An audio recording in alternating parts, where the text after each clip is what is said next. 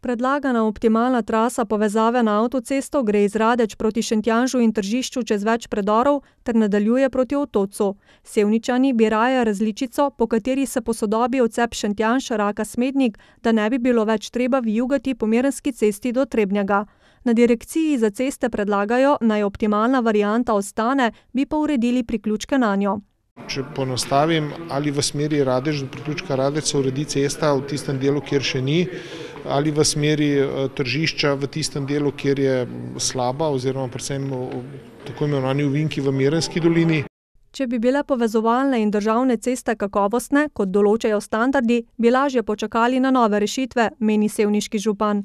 Kajti čakanje na izvedbo nadvoza v Sevnici nam potrjuje, da so te investicije prepočasne in posodobitve prepočasne, zato želimo nekako približati to razvojno os Sevnici, da bo izpolnila ta razvojna os naše potrebe po povezavi s svetom.